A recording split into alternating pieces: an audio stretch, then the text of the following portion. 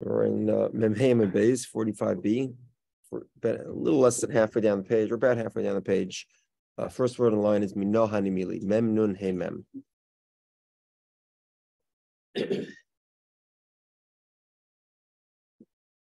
Okay, so we saw in the Mishnah that the Nazir takes his hair and burns it underneath the fire of his of his korban. We spoke about it's mainly the korban shlomim. And we had a debate if somebody who is so we said no, ideally a Nazir is going to bring his korbanos into the Beis Hamikdash, but potentially if he lives outside of Eretz Yisrael, he might choose to send money and not show up at all, and then he'll cut his hair outside of the Beis Hamikdash wherever he lives in you know Europe or Middle, Middle East, wherever he might be. Now, um,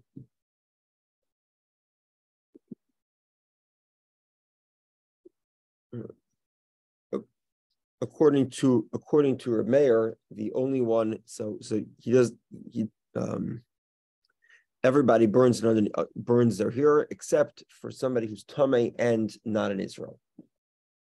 According to the Rabbanon, it's only it's only somebody who's tar, not somebody who's tame. Okay. We also saw that uh, not only do you take the hair and burn it, but you also take some of the of of the korban, the right of the gravy, and you burn it as well. Obviously, that's only going to be in the temple because otherwise there'd be no way to bring the sacrifice there. Okay, so Mars is minad immediately. How do we know that you burn you burn some of the sacrifice? So Amarava Rava says Amakra the pasuk teaches Asher Tachas Zevach Hashlam you take the hair and you put it tachas zevach hashlamim, underneath the, the sacrifice of the shlamim. But it could also be read as mizivchai, mm-hmm. the zevach should be yetachtav should be underneath it, meaning that some of the sacrifice is also burnt on, on under under it in the fire. So in other words, you take some of the gravy and you burn it in the fire. That's it's underneath itself. Okay, if you if you uh, burn his hair underneath the pot of the chatos, which obviously would be inside the Beis Hamikdash, like we said yesterday, the chatos is prepared in the azara, as opposed to the shlomim, which is prepared outside the azara. So let's say they took his hair and they put it underneath the fire of the chatos. You fulfill the obligation. My time. How do we know? On Makra, the pasuk says zevach. It says you, you put it underneath the zevach hashlomim. Zevach is sort of a generic word for sacrifice. And shlom is specific. So, so, zevach comes to include shlom. Uh, comes to include chatas, I'm sorry. It's a chatas v'asham, or, or an asham in the case of a nazir tomei. It brings, instead of a chatas and a shlom, brings a chatas and an asham. Okay. So the Gemara says, "Va'afik lahai zevach mi You've already said that this zevach tells me that the zevach needs to be underneath the pot.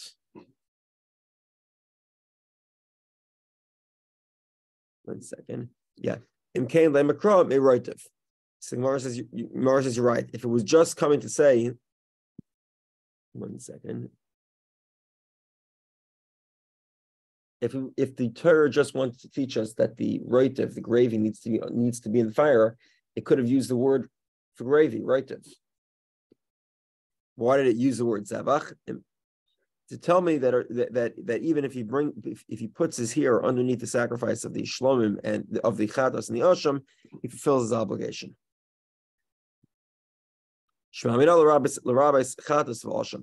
Okay, the emakul chadas v'asham also.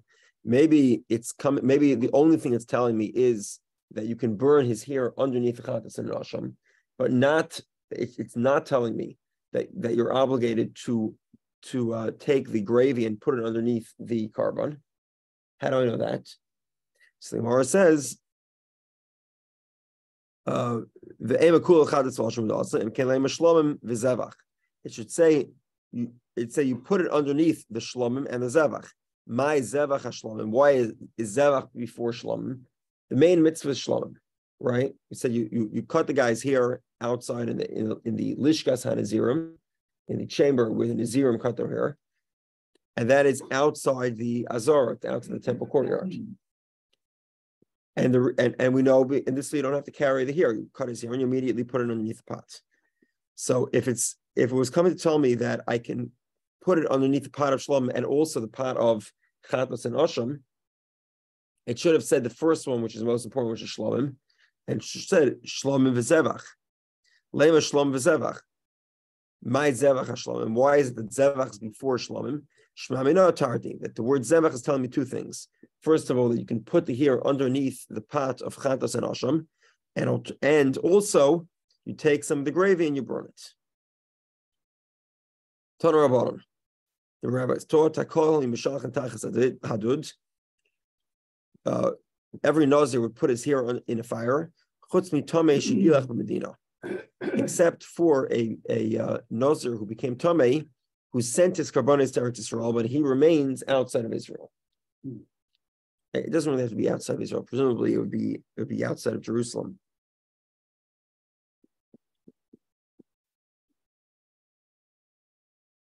Why? Nikvar. His hair is buried.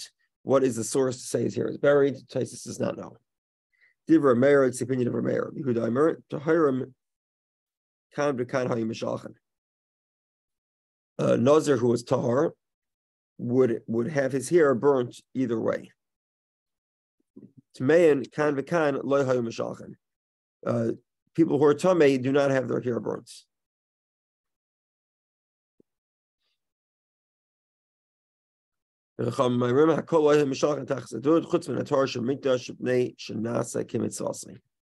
The rabbi said the only one that would burn his hair was a tahar in the Beis Hamikdash, because that's the proper way to complete your Naziris, and then therefore you can burn it underneath the fire. Okay, we continue discussing how to uh, finish up a Naziris.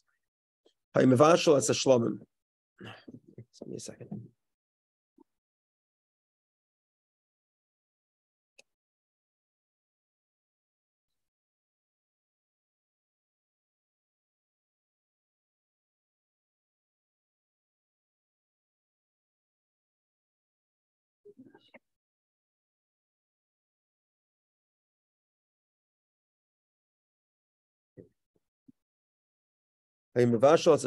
If he was cooking the shlomim, I sholkan, or uh, is sort of like what, what's done to venison. It's it's a super long cooking. It's a it's a it's more than just that you're cooking the food, you know, by, by getting it to 212. It's you're cooking for a very long period of time. So either way,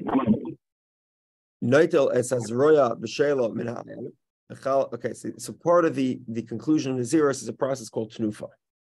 Tanufa is you take the uh, the the um the zroy b'shelim and aisle. So the the aisle is going to be the, the one that's a shlomim. You take the zroy b'shelo, the cooked. Um, make sure I actually have that right.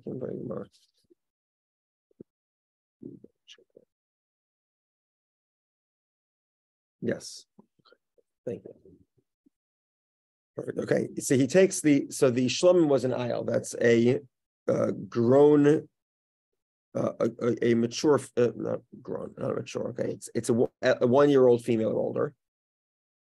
It's one, I think it's one to two years old, and he takes the zroya. The zroya is the hand. That that's the front leg. Together with remember the we spoke in the past. The nazar brings chalos and matzahs. Chalos obviously is chametz. Matzah is is matzah. It's not chametz.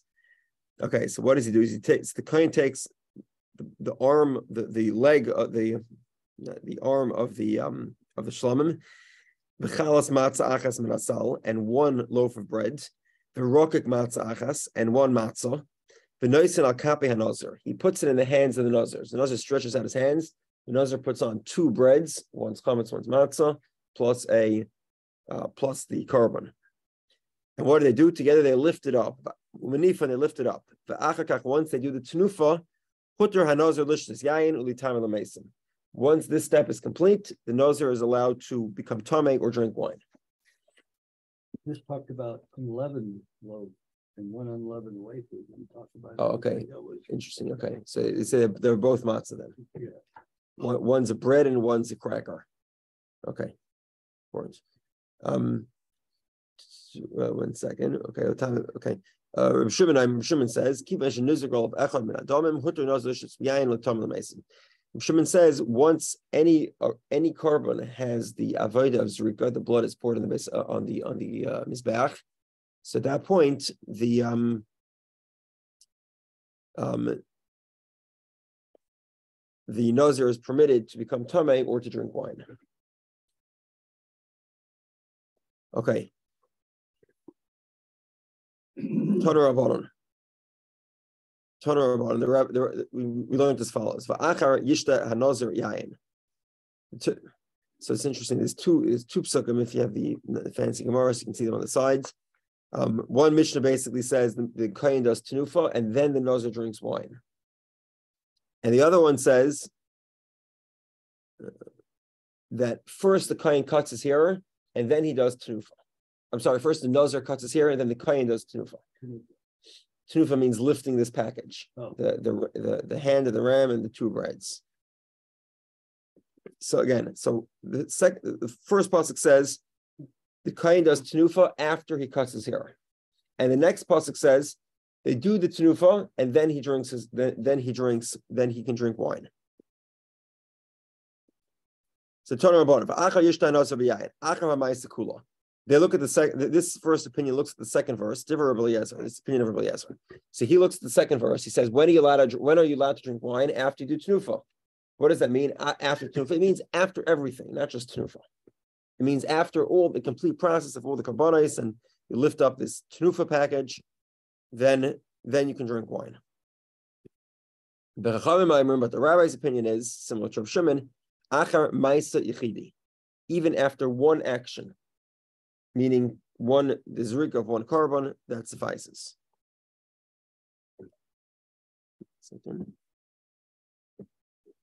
Yeah. And why is this? My mm-hmm. Tamai Rabbanon. What's the reason of the Rabbanon? Siv hacha ba'ashi acha yishta hanozer yayin. Siv hasam achar eskalcha is. Ma hasam achar ma'is yichidi. Afkan achar ma'is yichidi it says it says the kohen prepares the tenufa after he cuts his hair. Now, now, what, what's the requirement to cut his hair? What does he need to do to be able to cut his hair? Zrika of one korban. You put the blood the, on the altar of one korban, one sacrifice, then you can do, then you can cut his hair. So just like the Torah says achar as, as, as nizroi, after he cuts his hair, and that means after after what? After one korban, one zrika, does he cut his hair?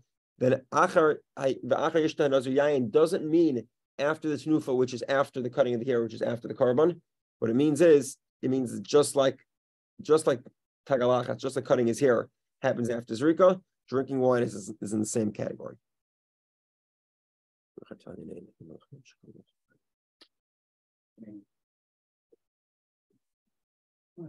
Okay. Afkan achamai um, Okay.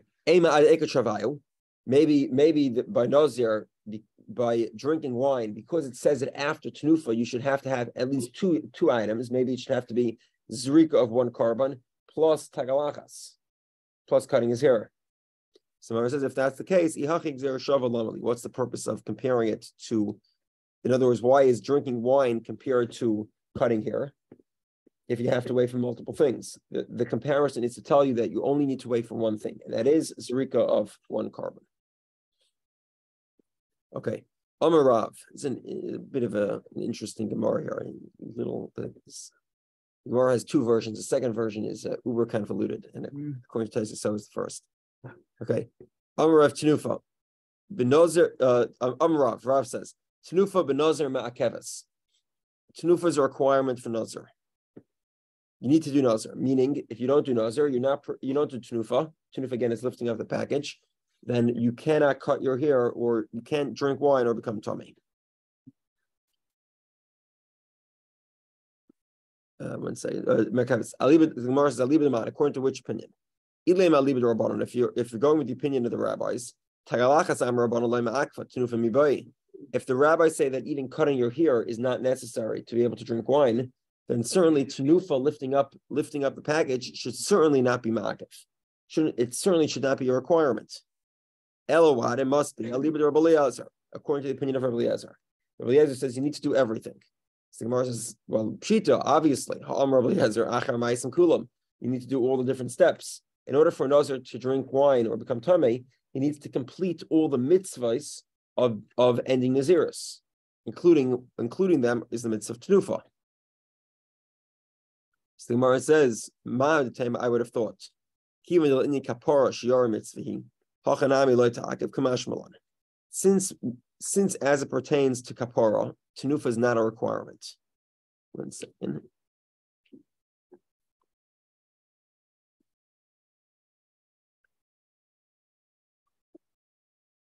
Meaning that if somebody did not do tenufa, it's considered he, he, he fulfills the obligation, but he, he didn't do the mitzvah of tenufa.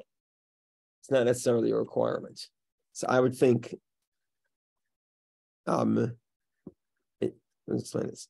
In other words, if somebody didn't do tenufa, he he um he's he's still he's still the carbonates are still valid. He doesn't invalidate the sacrifices. It's not a critical component of the sacrifice, and therefore I would think that maybe it wouldn't it wouldn't um, it wouldn't serve as an obstacle to the nazir finishing his naziris. And, and therefore, the opinion of Rav is that no, according to Rabbi Lazar, it does serve as an obstacle to finish his naziris. It is a requirement. Okay.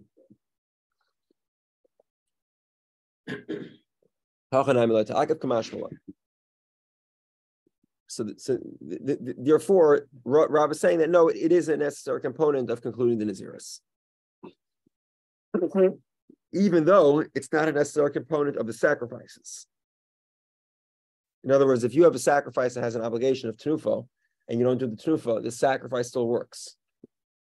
But that doesn't. But the, it, it's not because of the sacrifice requires the tenufa. It's because the nazir requires the tenufa. Okay, so here's a little bit of the complicated part. I okay, so what? So okay, so yeah.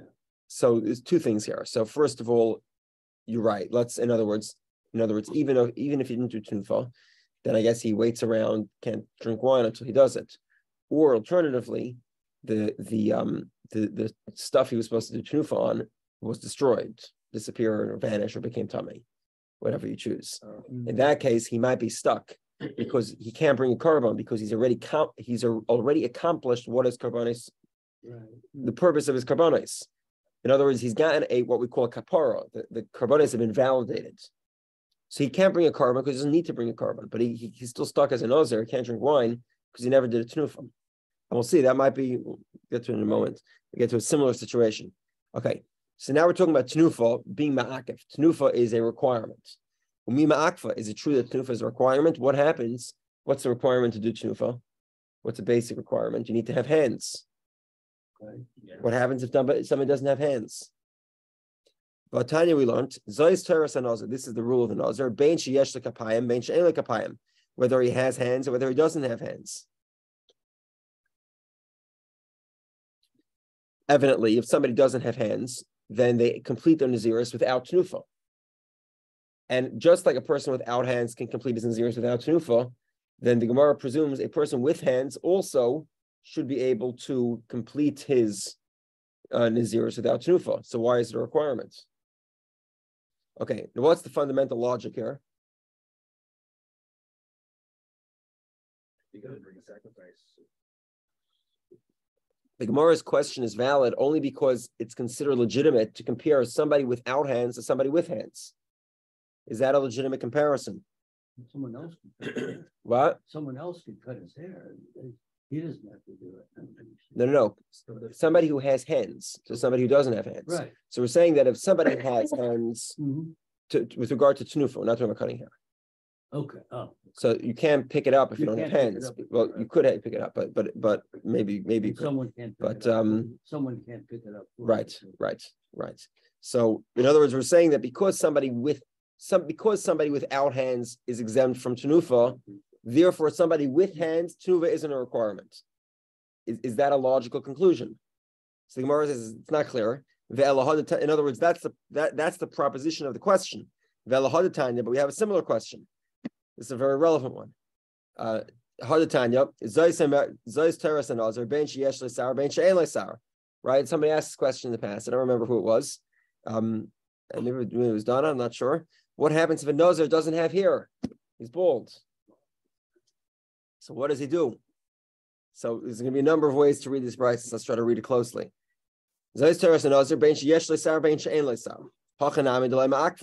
So are we going to say that that cutting here is not a requirement of completing Naziris either? because we find that somebody without hair can't obviously cut his hair. Or maybe he could, we'll see in a moment. Um, Vatanya we learned. Nazar memurat, if you have a Nazar who's who has no hair. Beis Shammai Amir Beis Shammai says, Ain't it He does not, he is not required to, to run a razor over his head. He does, he is required to run a razor over his head. So now it's not so clear.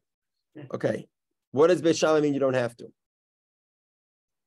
V'am Ravina, Ravina explains, my ain't it tzarech Beis Shammai, ain't it tzarech, ain't takana. There's no solution. Meaning, he's stuck. This guy can never end his Naziris. And according to Beis Hill, Beis Hill says you, you, need to you need to run a razor on his head. It doesn't mean you have to run a razor over his bald head, of course not. But uh, but what Beis Hill says you're exempt.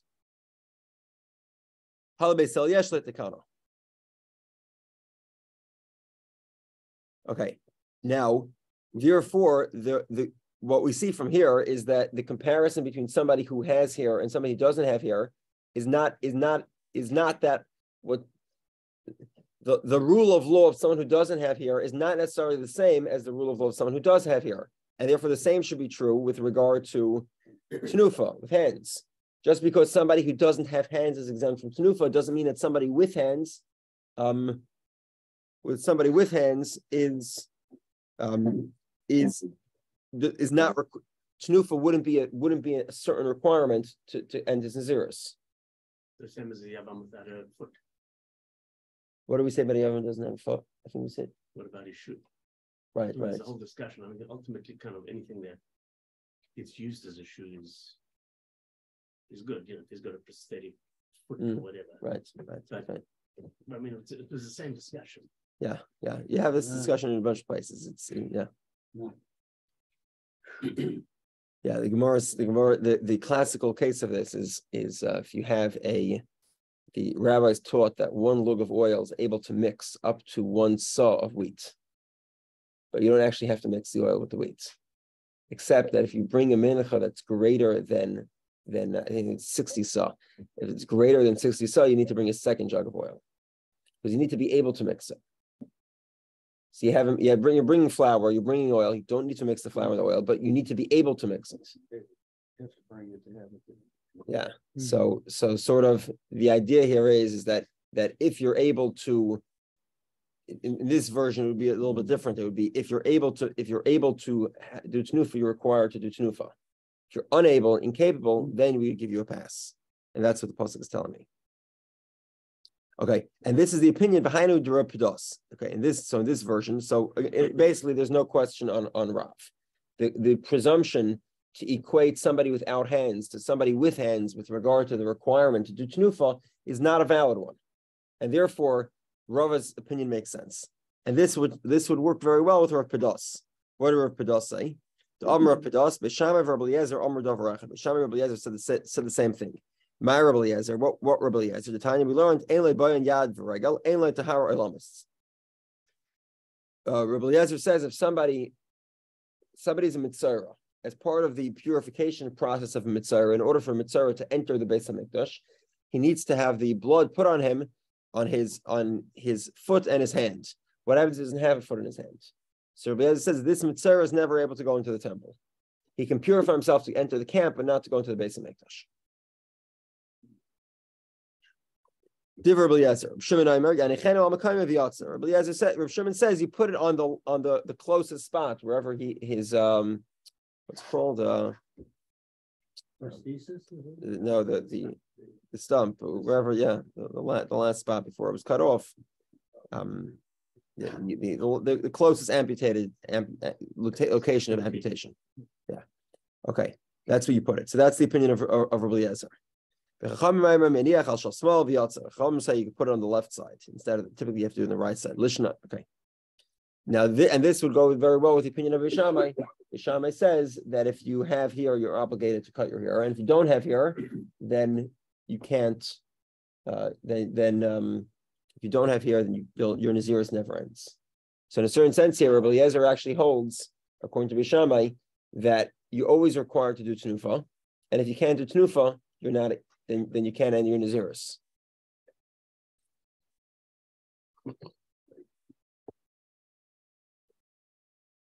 Lishnachrina, a second version of the same Gemara. Amri law, some say, Amarav, Tnufa benazir ma'akavis. Tnufa is a requirement for Nazar. So the Gemara asks, Aliba Deman, according to which opinion? Ilem Aliba Rabbi if you say it's the opinion of Rabbi Yezer, Shita, this would seem to be obvious. Ha'am Rabbi Yezer, Achar Maisim Kulam. Rabbi Yezer says it's uh, that you need to do all the different stages of Naziris to end the Naziris, and that would include Tnufa. Ella It must be, it's the opinion of the rabbis.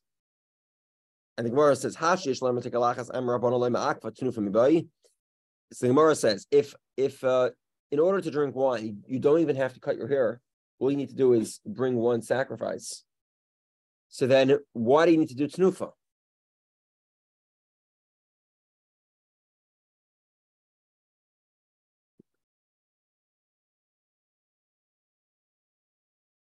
tnufa? So would, would it seem logical that you that you would have to you'd have to do tnufa? So the Gemara says, hold on a second. So you mean to say that you don't have to do tnufa? Is right? In other words, the Gemara is trying to say that that that uh, Rava fits with the Rabbanon's opinion, the Rabbi's opinion. Right? Now the question the Gemara says doesn't fit, right?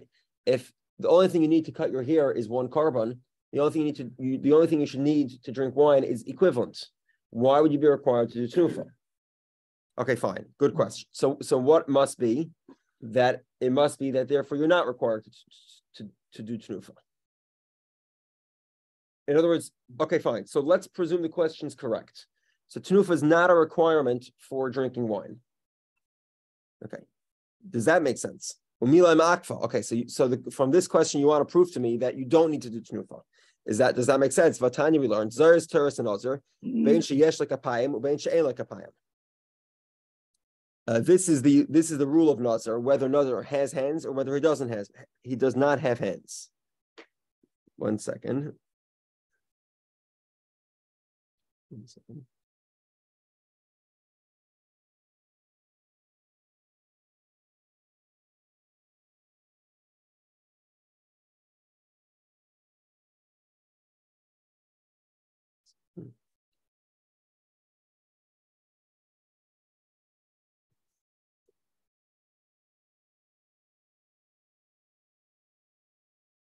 Okay. Okay, so the, Gemara is saying whether the Nazar has hands or whether it doesn't have hands. So yes, before we were saying that this means that you could end your Naziris whether you have hands or not. And now the Gemara presumes actually the opposite. Whether you have hands, whether you don't have hands, you're required to do Tnufa. Samara says, hold on, does that make any sense? When we compare it to, okay, so in other words, the Gemara is saying that it would seem that a Nazar is required to do to do Tnufa whether he does doesn't have hands, meaning if he can't do tenufa, then he can't do tenufa and he can't enter Naziris. This that we learned and Ozer Ben Sheyesh Lesar Ben She'en Lesar Hachanami.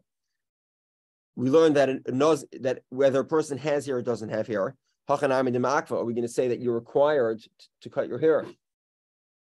Vatanya, we learned Nozim Memorit. If you have a Nozir who's bald, Beishami Ayim Ain't It Sarach Lahaver Tara Rosh Lahaver there's a machlekes b'sham and b'shil whether whether a nazir has to um ha, whether whether someone who's bald has to cut his hair or not.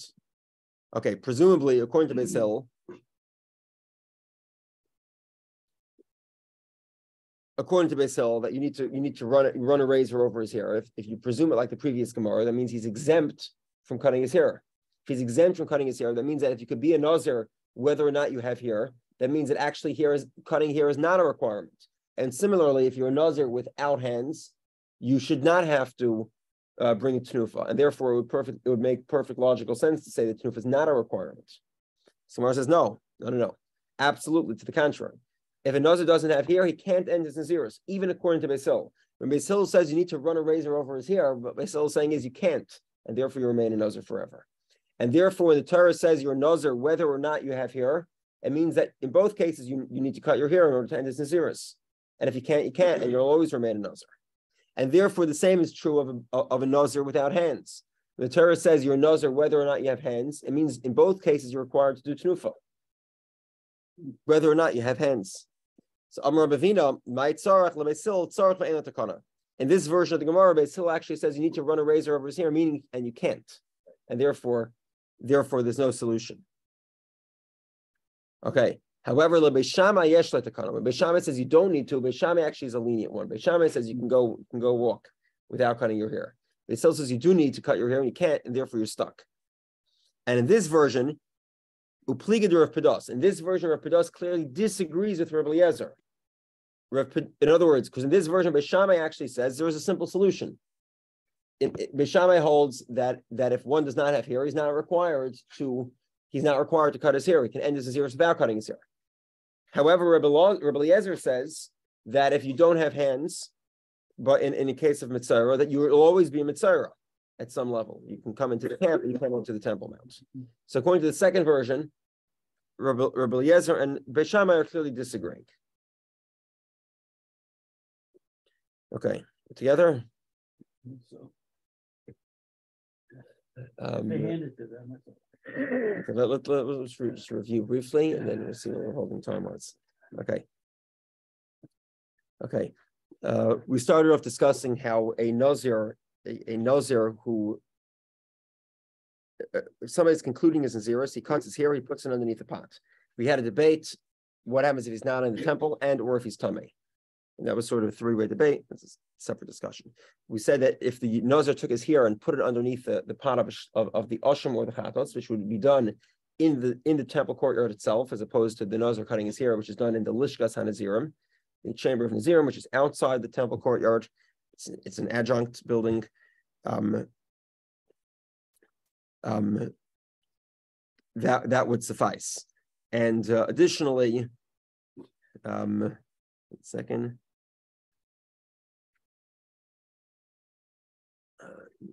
Here, um, additionally, just lost my train of thought here. Second.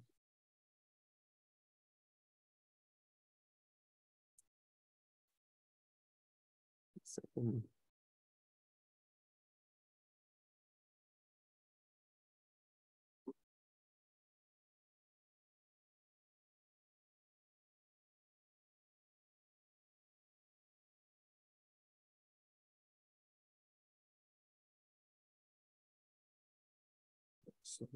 One second. Um, okay, and, and oh, and, and also the gravy has to be put underneath the pot of the shlum.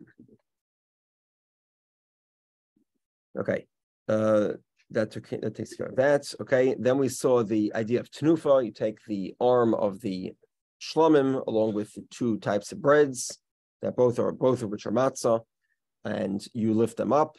Um, we have a machlokes whether that tenufa is what permits the kohen to drink wine, or it is it is bringing one of the korbanos. Says opinion of Shimon and the opinion of the Rabbanon. And we can saw the opinion of Eliezer, you need to do everything. Opinion of the Rabbanon, you only need to do one thing. That depends on whether you compare uh, drinking wine to cutting hair. If you compare them, then cutting hair, the only thing that's necessary is one korban to be brought. Okay, and then we saw this interesting Gemara with regard to uh, Tnufa by Nazir being a requirement. So the Gemara according to the first version of the Gemara, it's in the opinion of Rabbi Eliezer. Even though Rabbi Eliezer requires everything to be done, we would think that maybe Rabbi Eliezer would say that since tenufa is sort of not necessary for the korban, right? A korban is validated even without tenufa. So therefore, it should, tenufa shouldn't be a requirement for Nazir either. And the the uh, Rav is, Rav is Rav, I'm sorry, Rav is telling you that even according to, that according to Rabbi Eliezer, even tenufa is a requirement for Nazir. Then the Gemara tries to compare it to somebody without hands, and the Gemara says the comparison is not valid. And therefore, the conclusion is that according to Rabbi Eliezer, somebody without hands stuck, and that's the same opinion as Beis Shammai with regard to somebody who is bald. In the second version of the Gemara, the Gemara flips it and says tenufa is a requirement according to the Rabbanon, and therefore somebody without hands cannot end his Naziris, and somebody without hair cannot end his Naziris according to Beis Hillel. And therefore, that obviously disagrees with the opinion of of Rav Pedas that says that Beis Shammai implies that that Beis Shammai is the one that says he cannot end his Naziris. Okay, stop here. So tomorrow at eight ten. Just Okay. That is the clock. Changing the clock. After that, okay. So. Okay. Oh, Saturday night. Two o'clock, get up. After Two o'clock, and you're fine. Yeah, Whoa. okay. Does it change clock this week?